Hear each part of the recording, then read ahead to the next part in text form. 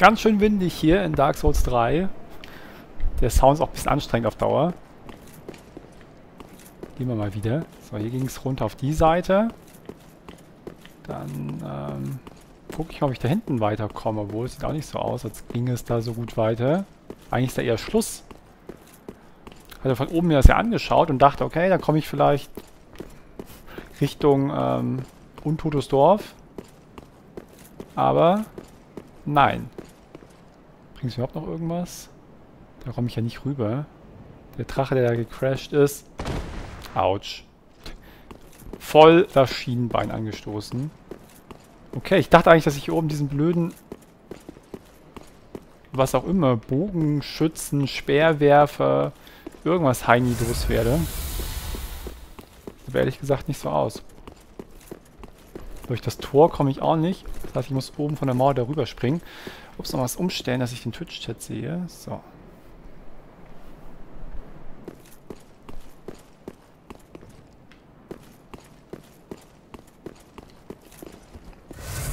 Ich habe sogar eine Estus-Scherbe, wenn ich mal zurückreisen würde, oder? All das, ich habe so viele Sachen, die ich irgendwie verbessern könnte. Hier runter gehen ist keine gute Idee. Nein, ich will nicht wieder zurück in den Sumpf. Ich dachte, ich kann auch bis an, beim Tageslicht bleiben. Ich glaube nicht. So, nicht zu weit runterfallen. Wenn sich hier nicht die Haxen bricht vollständig. Ich glaube, hier oben, das hat sich erledigt. Schade. Ich dachte, ich kann hier noch ein bisschen bleiben, wo es schöner ist.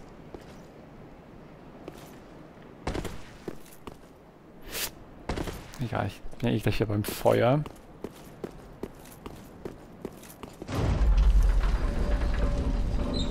So kam ein Bild los.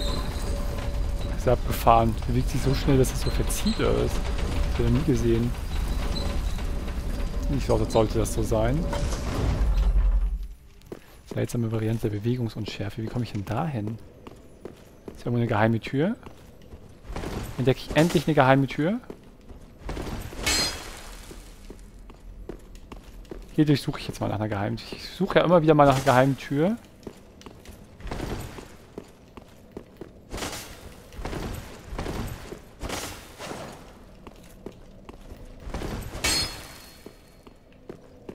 Finde keine.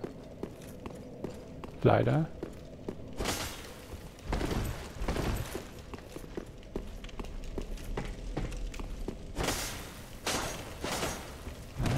Ja, hier mal irgendwie... Das ist doch recht auffällig. Ist hier vielleicht irgendwas? Das hier so komisch aus. Kann ich da irgendwie rein?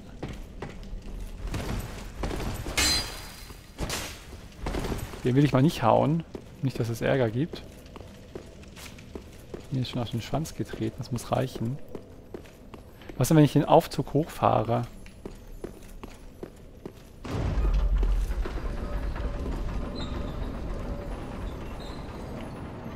Na, sieht nicht aus, würde irgendwas nach oben kommen, wo ich dann da lang gehen kann.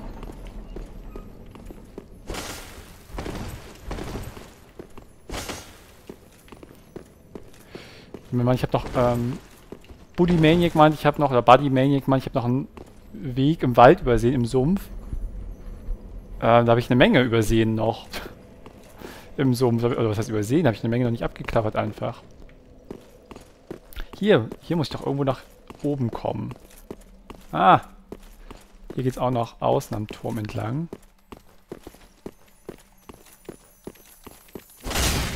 Den Schatzhansel lasse ich mir nicht entkommen.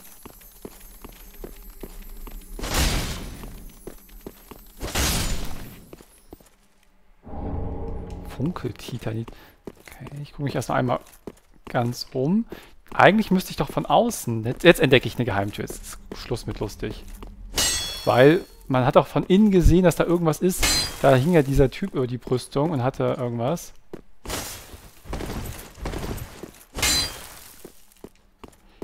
Hier muss das irgendwo sein.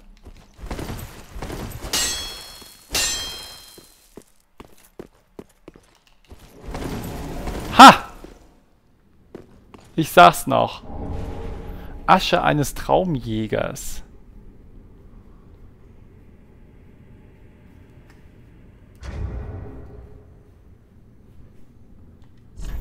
So. Asche eines Traumjägers. Schattenasche von einem, der wehmütig von einem Mitglied der Untoten Legion träumte. Die Schreinmaid stellt damit einen neuen Gegenstand her. Cool, cool, cool. Ich habe so viele Sachen, die ich im Schrein jetzt machen kann inzwischen. Ich werde mal zurückreisen, auch wenn ich gar nicht so viel leveln kann, leider. Weil kaputt gegangen.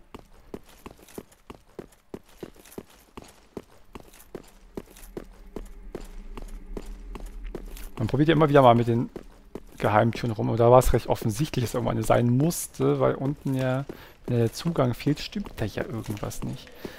Und ja, von oben sieht alles echt okay aus. Guck, so dunkel ist es da unten überhaupt nicht. Und eklig. Aber wenn man unten ist, ist alles super schlimm. Ich gehe erstmal zurück zum Feuerschrein. Und schau mal an, was wir da so machen können.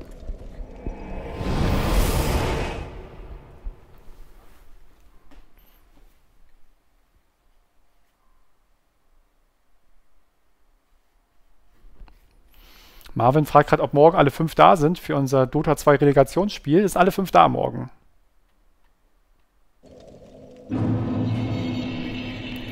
Okay, also genug zu tun. Erstmal den Estus-Flakon. Fangen wir doch damit an. Wie viel Titanitscherben ich inzwischen habe. Muss echt mal gucken, welche Waffen ich da als nächstes mal aufleveln möchte.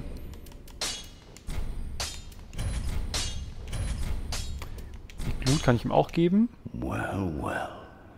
What's the Undead Legion doing with a coal such as this?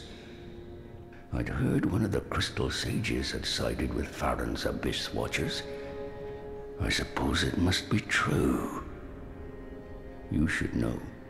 This coal is imbued with magic. First one I've ever seen. Hardly a surprise, is it? I've never been one for books or wise men.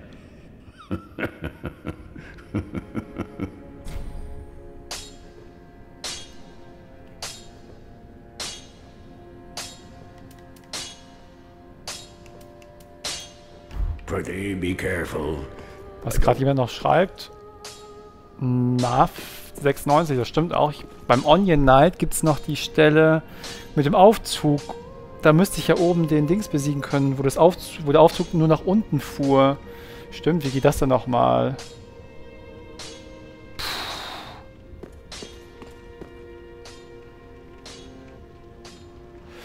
Da könnte ich den Typen abschießen, der auf dem Turm ist. Da müsste ich auch nochmal hin. Okay, da wüsste ich jetzt überhaupt nicht, welches Feuer das war und wie ich das Rätsel löse. Noch so eine Geschichte. So, jetzt habe ich das für die... Ein Gegenstand. Ach genau, für den Ofen habe ich noch einen Gegenstand. Das wollte ich als nächstes machen mal ein paar Sachen erledigen.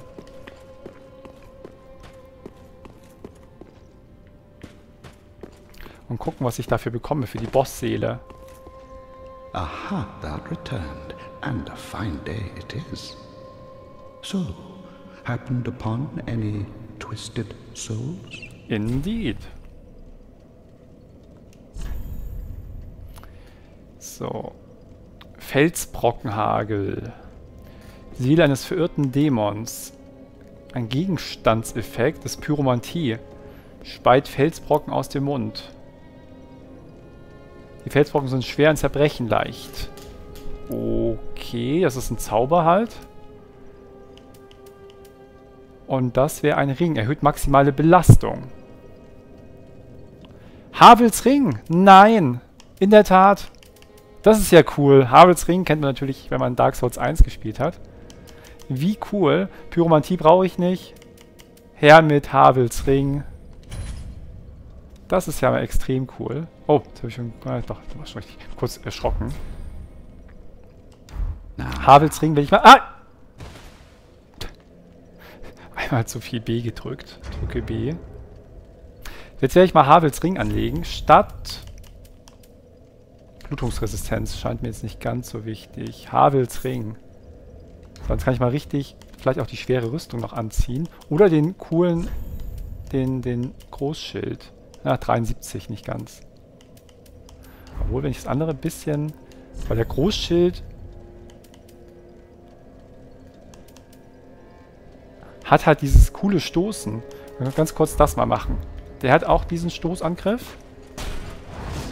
Kostet natürlich Magie, aber ist natürlich schon sehr, sehr praktisch.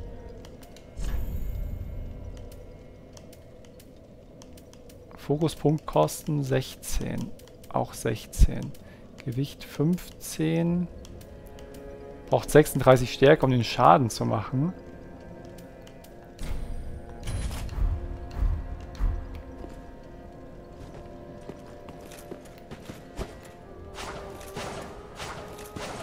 Das heißt, ich kann ihn nicht effektiv nutzen. Also nicht so viel Schaden machen damit.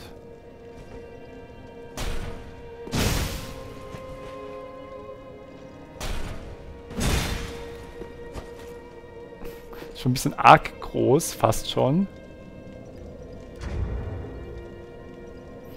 Hm.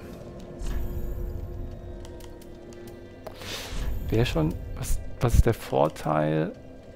Blitzdunkel. Haltung hat es auch nochmal ordentlich halt. Wird nicht so leicht umgeschmissen. Das wäre es mir eigentlich schon wert. Ich habe nicht genug Stärke. Aber, ähm, wie gesagt, das ist eigentlich nur der physische Schaden, den ich verursache, wird reduziert. Aber ich will ja eh nicht groß Schaden dem Schild machen. Deswegen nehme ich den mal. So, dann muss ich nur gucken, wie ich jetzt die restlichen Sachen anziehe, dass ich auf unter 70% wieder komme. Oder ich level, aber einmal leveln schaffe ich nicht mal.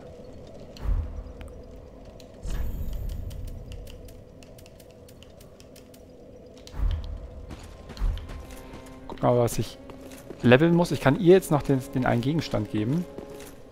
Welcome home, Ashen One. Speak thine heart's desire. Very well, then take no 7400. Ich habe aber nur 1600. Okay, das ist ein bisschen sehr viel weniger.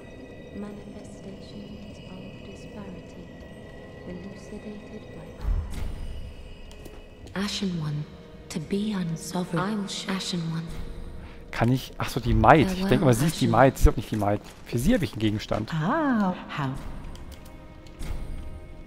Ashen One, what woeful umbral ash is this? This barren dust, stuff of a fool, won't yield aught. Where didst thou happen upon the stuff? Tell me for the sport. Oh, yes, I see. Clinging to lofty dreams in this dying world, more's the pity. It must come from one most foolish indeed. Wouldst thou not agree? Natürlich ein Grund, sich kaputt zu lachen, wie immer. Kannst jetzt ein paar neue coole Sachen. Getrocknete Finger mit mehreren Knöcheln. Ah, für die für Multiplayer wieder. Das sind alles Waffen. Gehen wir der Reihe nochmal durch, dann ist es immer ein bisschen übersichtlicher. Das sind hier alles solche Geschichten. Kennt man alles. Nichts Ungewöhnliches. Kleine Titanitscherbe. Kann man bei ihr kaufen für 800. Da kann man also mal genug Waffen aufleveln. Okay, 800 sehen ist auch echt mal nicht viel. Dann werde ich jetzt auch mal Sachen aufleveln. Gewölbeschlüssel, Turmschlüssel brauche ich noch. Das sind Bögen, Talisman. Das sind noch Klamotten wieder. Lebensring erhöht maximale TP. Ist nicht das, den ich auch habe schon? Ashen One, be sure to bring... So, doch genau, der Lebensring. Wie viel erhöht er eigentlich die TP? Weiß ich gar nicht mehr. Ähm...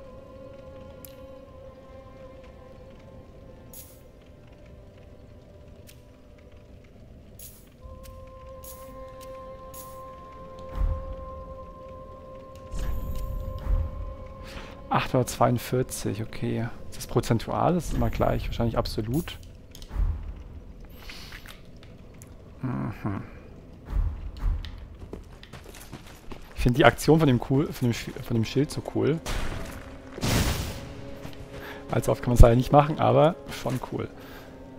Ähm ich überlege gerade noch, ob ich noch irgendwas... Nicht irgendwelche besonderen Gegenstände noch gehabt? Ich noch irgendwas ich hatte so viel Zeug eingesammelt. Estus-Scherbe habe ich gemacht. 12. Das sind die Scherben. 20 kleine, eine große Titanitscherbe. Waffen plus 6. Funkeltitanit. Damit kann ich halt dann mit den Edelsteinen noch jeweils weitergehen. Gealterte Waffen, krude Waffen. Gefängnisschlüssel, Banner, Schriftorte, Foliant. Gib ihm einen Meisterpyromanten. Schriftolle. Einen Zauberer.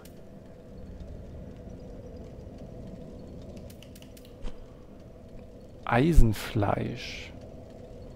Das sind meine Sprüche, das sind die Waffen.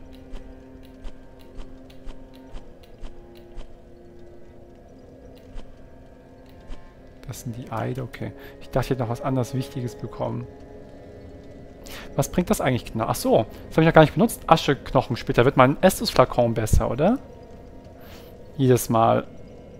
In den Leuchtfeuer des Schreins. Und dann wird mein Estus-Flakon besser. Mit den ähm, Splittern, die ich dem André gebe, bekomme ich mehr Aufladung. Und hier müsste ich jetzt ja einfach eine bessere Erholung bekommen, was auch nicht unwichtig ist. Leuchtfeuerstufe 2. Habe ich noch mehr? Nein. Cool. Also, das darf man alles nicht vergessen.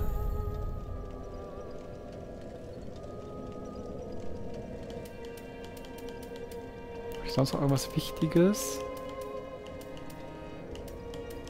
Ich glaube, jetzt haben wir langsam alles Wichtige von uns genommen. Noch die Seele des Großholzes. Können wir überlegen, ob ich irgendeine Waffe jetzt nochmal auswerten möchte.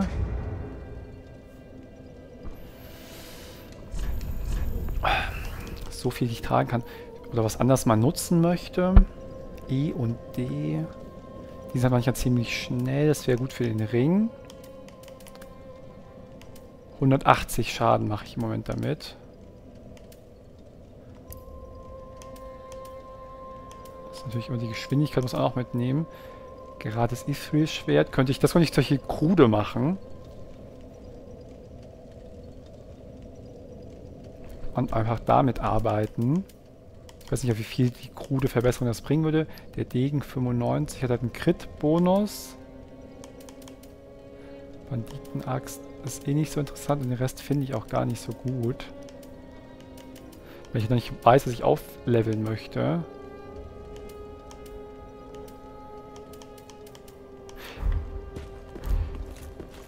Muss man sich auch mal die Zeit nehmen, das ein bisschen anzugucken. So, guck mal ganz hier. Ich habe die verschiedenen, das sind die Titanits, um die weiter aufzuleveln. Schwere Edelstein, schwere Waffen. Effektiv, ist, wenn ich die mit Stärke besser skalieren lassen möchte.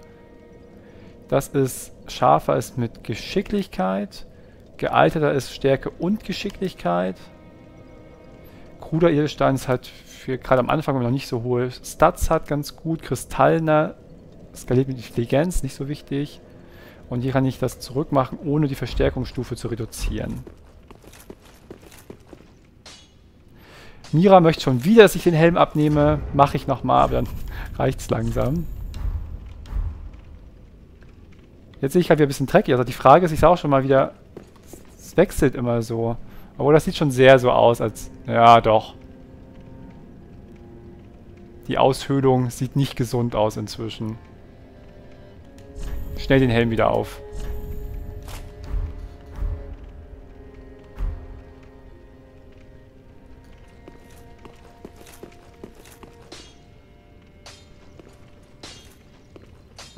Ähm. So, ich wollte gucken, ob ich jetzt was mit dem kruden Schwert, wie ich das genau machen kann. Umwandeln. Wenn ich jetzt hier das krude Schwert kann ich auch noch andere Gegenstände draufhauen.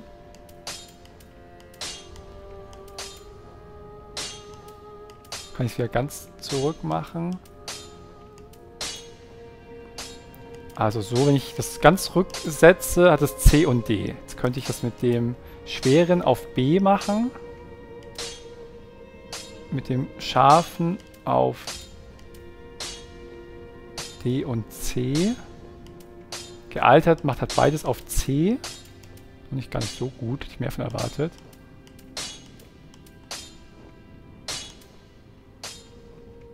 Wo sich den Gesamtschaden mal... Äh, ich gucke gerade was. Bin ich also gut bereit?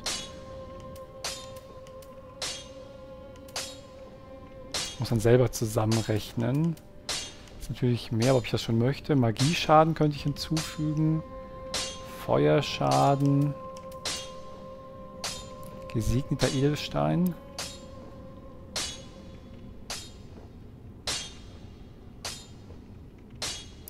Zeigt mir nur das an.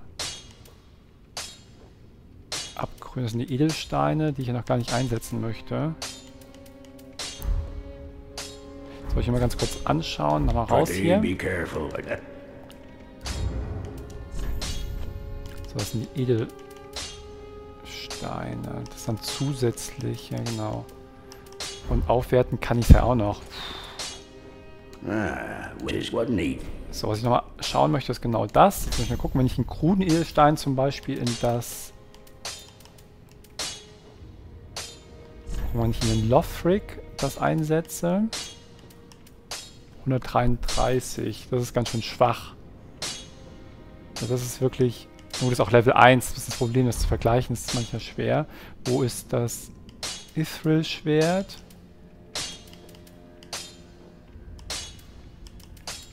Wie viel bringt das denn, ich das verbessert? Wo ist denn das Ithril-Schwert? Kann man das gar nicht verbessern? Das zeigt er hier gar nicht an. Das ist halt praktisch ein... Äh, schade.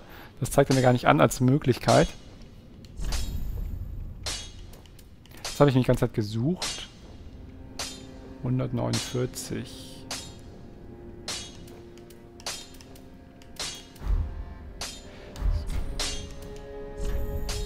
Hier kann ich es verbessern. 142 kriegt das auf dem nächsten Level plus 26. Schon noch ganz schön Unterschied. Das skaliert auch ein bisschen mit. Kettenbrecher.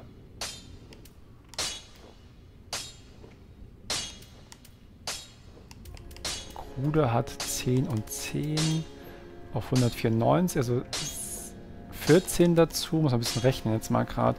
Das skaliert halt mit D und D.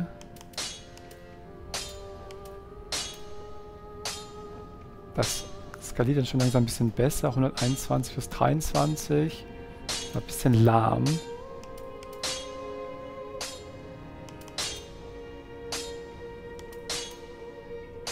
Uchi Katana geht nur um 11 hoch. Ich glaube, ich level mir mal das Ithril-Schwert auf 2 und vergleiche das dann ein bisschen.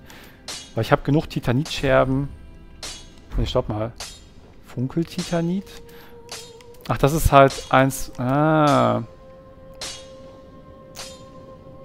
Das ist ein bisschen mies. Das ist so ein Spezialschwert, das braucht Funkeltitanit schon. Gerade ein bisschen geguckt. Oh Mann.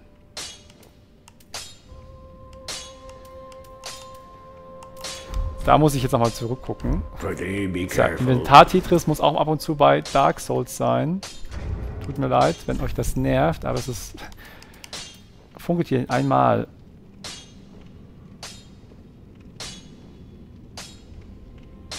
Von Stärke erfüllte Waffen können nicht durch gewöhnliches Tianit verstärkt oder durchwirkt werden. Aber wird das direkt auf plus 4 verbessert dann? Seelengewandelte Waffen.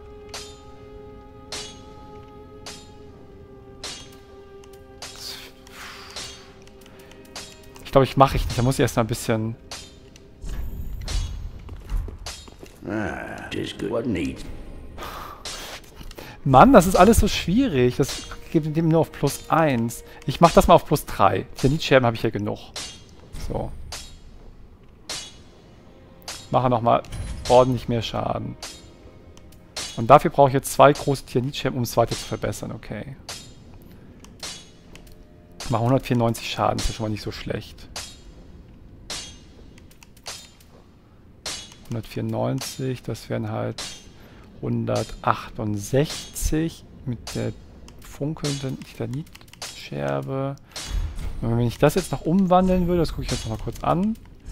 Wenn ich das zurückverwandle, mache ich 100, 180, 183 Schaden. Im Moment mache ich 194, also 11 weniger, weil die Skalierung noch nicht ganz ausreicht. Wenn ich irgendwas anderes reinstecke, 196,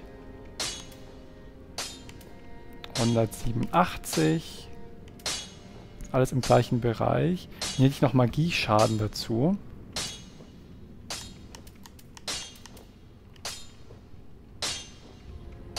Wird das, das weiß ich aber nicht ganz. Wird das addiert einfach? Da bin ich aber nicht ganz sicher. Wisst ihr das vielleicht? Hier steht jetzt hier, wenn ich den feurigen Edelstein einsetze, nur als Beispiel, weil ich habe ihn ja gar nicht, dann wird der physische Schaden auf 126 gesetzt und Feuerschaden auf 126. Heißt es aber, ich mache mit einem Schlag 126 Feuerschaden oder mache ich 126 physischen Schaden und 126 ähm, Feuerschaden dazu.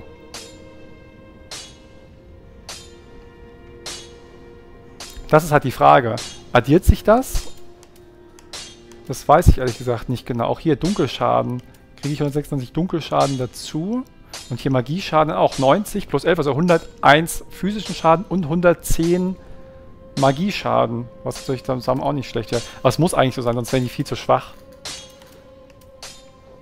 Wird addiert halb-halb. Einer schreibt, es wird halb-halb addiert. Manche schreiben natürlich, Gegner haben Resistenzen gegen Elemente, das stimmt natürlich schon. Also halb-halb würde auch nicht ganz Sinn ergeben.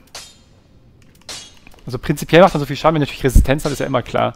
Dann hält er ein bisschen davon was aus. Okay, das passt schon. Habe ich jetzt Level 3 auf dem Breitschwert. Das gefällt mir eigentlich so erstmal ganz gut.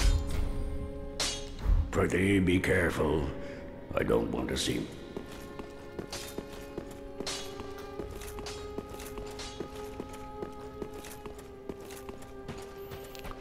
Okay, habe ich jetzt sonst alles? Achso, 73, jetzt muss ich irgendwie noch gucken, dass ich unter 70% wiederkomme.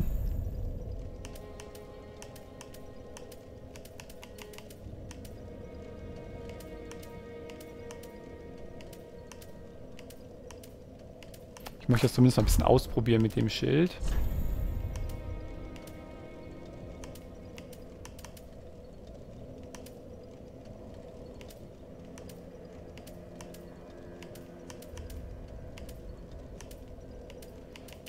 25,4.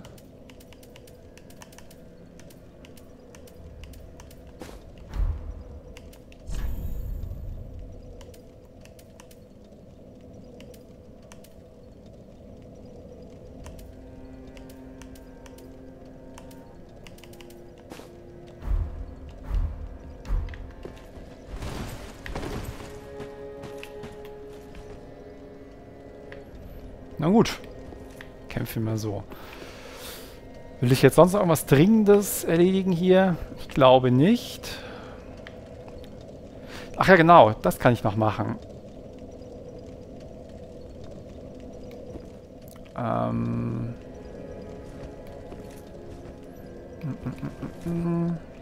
Ich möchte jetzt ganz gerne eigentlich das mit dem Onion Knight machen. Ich würde sagen, das war halt bisschen Inventar-Tetris-Runde passiert größtenteils. Ich würde jetzt ähm, mal kurz schauen, wo geht es denn nochmal zum Onion Knight?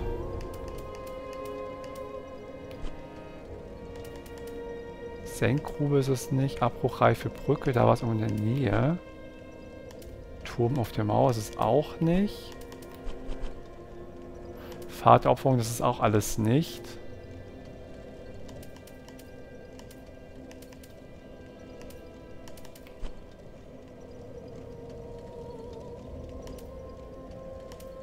Das gucke ich mal in der Pause nach, weil ich weiß es nicht ganz aus dem Kopf. Dann finde ich das schon. Und dann werde ich mal ähm, das mit dem Onion Knight auf dem Dach erledigen, damit ich einen komischen Speerwerfer loswerde. Also kurze Pause.